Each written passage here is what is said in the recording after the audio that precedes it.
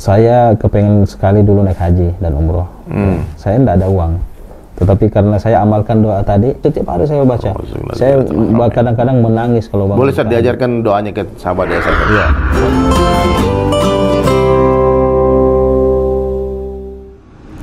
Assalamualaikum warahmatullahi wabarakatuh. Waalaikumsalam.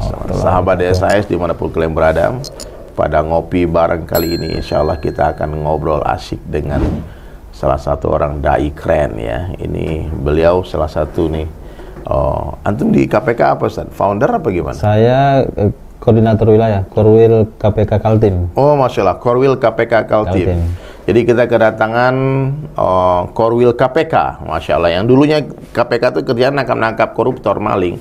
Sekarang KPK ini ke kampung-kampung, ke pedalaman, ya, ah, ke pedalaman untuk mencari umat Rasulullah SAW. Apa itu KPK? Komunitas pendakwah keren. Oh, komunitas pendakwah keren. Mudah-mudahan saya termasuk pendakwah keren ya. Ada juga kemarin saat anu KPK tapi saya baca anunya komunitas penggali kubur. Ada juga. Iya, ada, ada.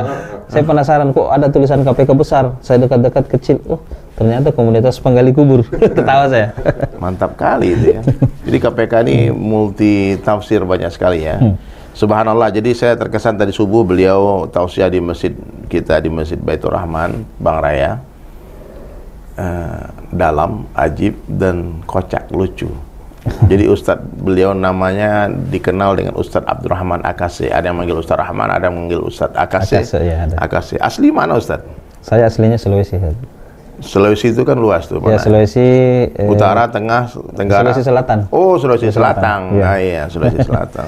Daeng nih, Daeng, Ustaz Daeng. Daeng. Jadi di Sulawesi Selatan saya banyak sekali sahabat di sana, dai-dainya Allah. Dan banyak pesantren besar juga. Ustaz tamatan pesantren mana? Di Sulawesi kah apa di mana? Eh, Sulawesi. Salah satu pesantren terbesar di sana itu adalah pesantren Asadiyah dan tertua. Kayaknya saya pernah ke sana tuh. Ada Iya.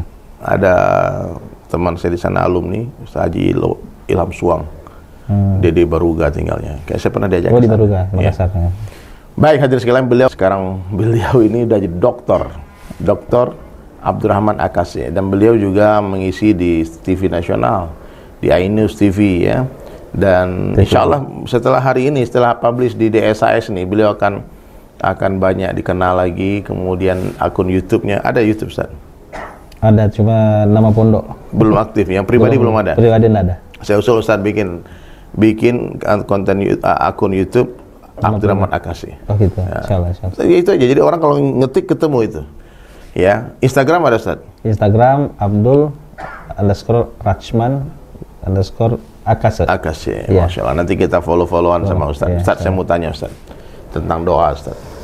Ya. Nah, kadang-kadang doa ini Ustaz kita doakan kebaikan untuk kita, tapi ternyata mudarat bagi orang.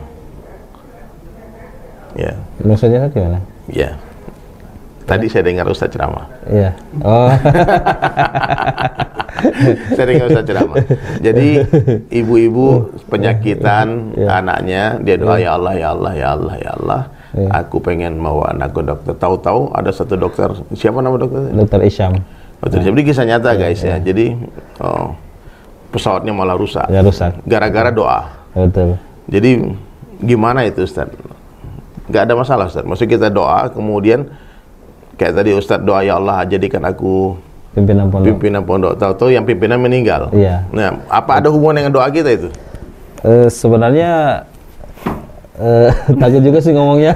Kok juga ya. Karena- Jadi kita nah, maksudnya pas pas lagi ketika pimpinan pondok itu meninggal kan mesti ucapin innalillahi wa inna ilaihi rajiun. Iya. Tapi jangan-jangan Ustaz ngucapinnya alhamdulillah. Nah, gitu kan doanya pengen jadi pimpinan pondok. Itu gimana ceritanya Ustaz ya?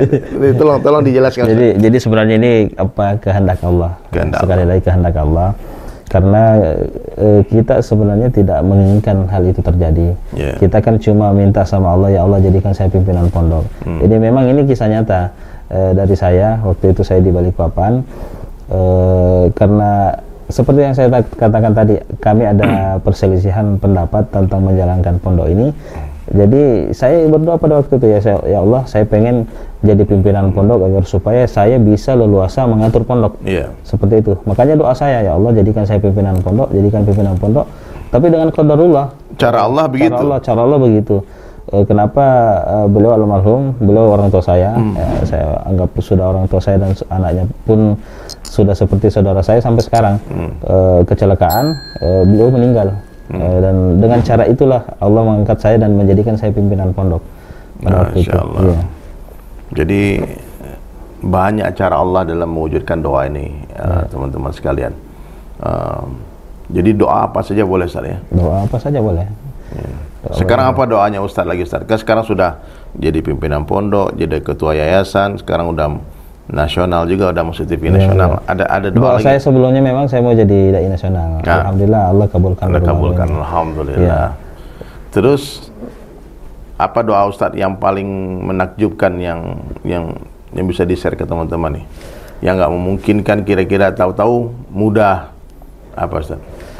Eh, sebenarnya banyak sih ya. Iya. Banyak doa saya yang yang mestinya menakjubkan salah satunya tadi eh yang saya katakan tadi ada beberapa. Yang pertama saya kepengen sekali dulu naik haji dan umroh. Hmm. Saya tidak ada uang.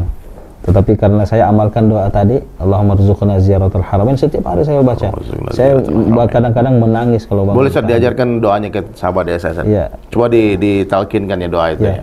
Eh, doa yang diajarkan oleh guru saya karena pada waktu itu memang kan saya pengen sekali naik haji dan umroh karena waktu itu eh, saya sadar bahwa orang tua saya tidak Secara mampu. finansial ekonomi nggak mungkin lah ya. secara ekonomi tidak mungkin tidak mungkin tapi karena saya diajarkan doa dan saya diyakinkan bahwa kalau Allah berkehendak Pasti. pasti Terjadi. dan eh, kuncinya kan kalau kita kita lihat sekarang itu banyak orang yang banyak ber- banyak duitnya berduit lah ceritanya dia bisa bolak balik mungkin setiap bulan ke Mekah tapi buktinya Hmm. Dia dia, pergi. tidak pernah berangkat umroh atau haji sampai mati Berarti uang tidak bisa Uang memberangkatkan. tidak bisa merangkatkan apalagi tetangga saya Sat. Hmm. tetangga saya banyak uangnya besar rumahnya tidak pernah berangkat haji kenapa Hmm. karena orang Cina pak Orang Cina. orang Cina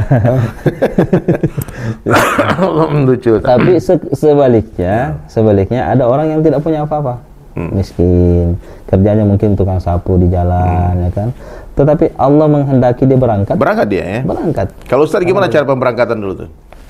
Eh, kalau saya sih memang eh, apa namanya, ya itu tadi, saya bilang eh, salah satu cara Allah itu kebetulan istri saya itu eh, kakaknya, kakak ipar saya itu eh, punya travel, Eh, jadi saya ngurus. Oh, kan disuruh bolak-balik ke sana Iya, antar jamaah ya. antar jamaah. Jadi itu maksudnya cara Allah lah luar biasa. Iya. Artinya seandainya eh, de- tidak dengan cara itu mungkin ada cara yang lain. Tetapi ini cara yang terbaik, ya kan? Ngurus Cara yang termudah ya. Ter- termudah, gratis lagi Zat. Gratis lagi. Iya. Bisa berangkatin orang tua lagi ya. Bisa berangkatin orang tua. Alhamdulillah, saya syukurnya saat kemarin eh, sebelum Covid lagi. Saya berangkatkan ibu saya karena memang saya sudah lama berangkatkan ibu, cuma beliau kena penyakit eh, gula. Hmm. Terus penglihatannya juga sudah tidak bisa melihat. Blur, Jadi saya tunggu sampai beliau sembuh. Iya. Cuma tidak sembuh-sembuh, jadi akhirnya saya bilang berangkat aja, walaupun tidak melihat eh, berangkat aja. Alhamdulillah pada saat kemarin berangkat sama-sama, kemudian pas pulang COVID, Hmm. itu saya bilang alhamdulillah untung saya berangkatkan karena COVID sekarang kan kita tidak tahu, tidak bisa tebak sampai kapan. Betul, Nah, masya Allah. itu, Jadi Masya Allah. sangka baik sama Allah, terus doa terus, yang baik-baik doanya yang benar, yang sempurna. Betul. Ya.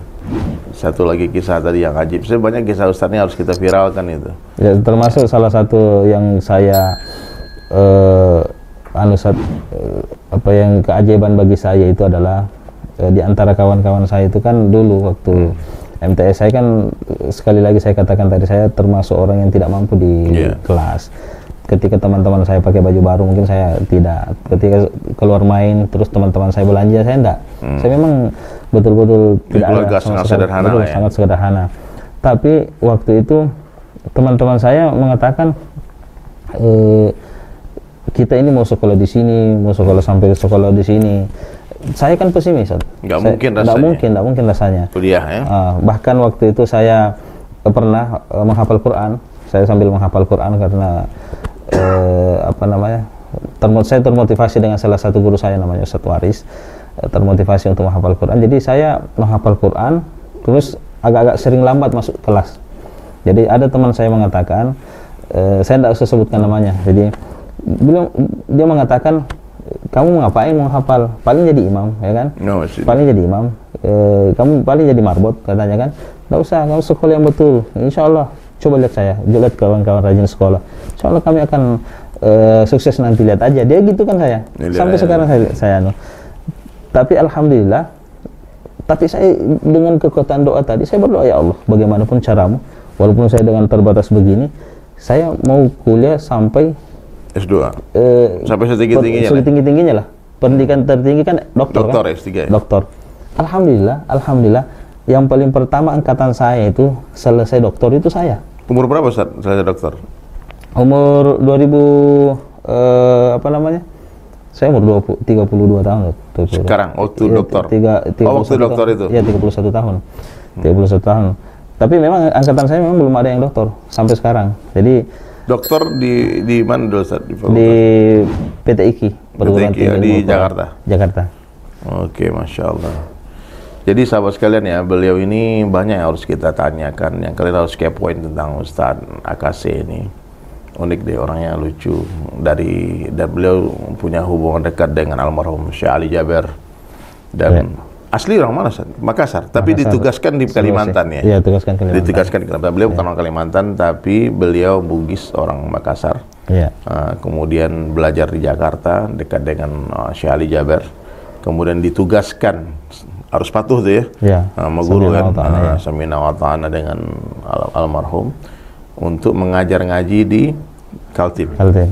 Sekarang sudah punya pesantren. Apa nama pesantren? Pesantren eh, Pondok Pesantren Izzatul Quran Asadiyah. Berapa uh, santri sekarang? Kalau santri keseluruhan ada 200 lebih. Alhamdulillah. Cuma yang tinggal asrama itu sekitar 60-an. Yang tinggal asrama kami Putra, putri. eh, eh, putra putri. Putra putri. Putra putri. Jadi sementara kami sekarang lagi di kota Samarinda. eh, iya Samarinda. Samarinda. Jadi kota. teman-teman nih kalau kalian mau carikan sekolah pesantren yang bagus buat anak kalian, ah, ini recommended nih. Kalian cari informasinya. um, pokoknya kalian kepoin. Kalau ada mau hubungin pesantren, ke mana nomornya Ustaz? Eh, ke nomor saya aja. Nomor berapa nomornya? 0852 triple Di, saya sembilan dicatat ya 0852 triple sembilan dua sembilannya tiga kali Iya, dua dua enam delapan dua. 22682. Kalian hubungin nih. Kalau mau ngundang beliau pun silakan ya. Iya, boleh, Dan silakan. ini komunitas uh, pendakwah Pendakwah keren, keren. ini, ini ini luar biasa ini. Kayaknya bakalan harus ada di setiap provinsi ini kayaknya Iya. saat per- perwakilan. Sekarang udah ada berapa provinsi? nih? Sudah eh saya, kalau pasnya sih saya kurang tahu Ustaz. cuma ke seperti Sumatera Selatan sudah ada, Sumatera Utara sudah ada, Kaltim sudah ada, Kaltara sudah ada, eh, Sulawesi Selatan, Sulawesi Tengah. Tapi pusat pertama di Papua. Kaltim ya, Kaltim bermulanya. Eh, kita menggagas memang di- dari Kaltim. Karena founder kita Iya. Satradi namanya tinggal di sana. Ya, karena Kaltim memang nampak-nampaknya bakal jadi pusat juga. Iya, dan pembinanya pun yang ini pembinanya pun gubernur wakil gubernur Kaltim sama gubernur Kaltim. Oh, Beliau masya Allah. sebagai Masya pembina. KPK ya, masya Allah Iya. luar biasa. Semoga sukses KPK-nya. Jadi teman-teman sekalian nih hikmah. Kalau Kalian mau dengar ceramah beliau tadi, Iya. boleh lihat di channel YouTube oh, Masjid uh, Baitur Rahman Bang Raya. Nah, nanti di MBR itu uh, full ceramah beliau tadi subuh. Pertama tadi agak slow-slow santai, ya smooth, ya ujung-ujungnya lucu, kocak, ya kocak, masya Allah. Dan memang karakter Makassar itu sih, Makassar itu kalau ngomong aja lucu sih. Istilah Ustaz Dasar Latif kan, cara ngomong. Padahal itu ngomong biasa sih, emang lucu, nadanya memang begitu.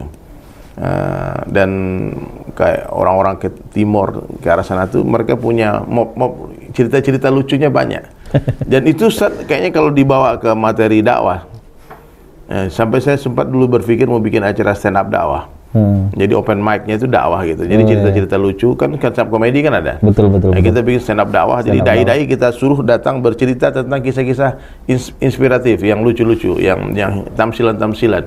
Wah banyak banget, ya. Ah, dan hari ini saya beruntung sekali berjumpa dengan yang mulia, Dokter Ustadz. oh, aduh, kalau dokter perlu ustadz lagi depannya. Ustadz Dokter Abdurrahman Lakis. Abdurrahman Akase. Beliau berbase camp di Samarinda, ya. Nomor telepon sudah saya berikan tadi. Silahkan kalian cari di YouTube banyak orang-orang yang upload ceramah beliau dan um, kita tunggu kehadiran channel YouTube Ustadz Abdurrahman Akase. Amin amin. Itu dari saya. Ingat, sekurus-kurusnya ikan pasti ada dagingnya, segemuk-gemuknya ikan pasti ada tulangnya. Ambil dagingnya, buang tulangnya, ambil yang baik, buang yang buruk, ambil yang jernih, buang yang keruh. Wabillahi taufiq wal hidayah. Wassalamualaikum warahmatullahi wabarakatuh. Waalaikumsalam warahmatullahi wabarakatuh.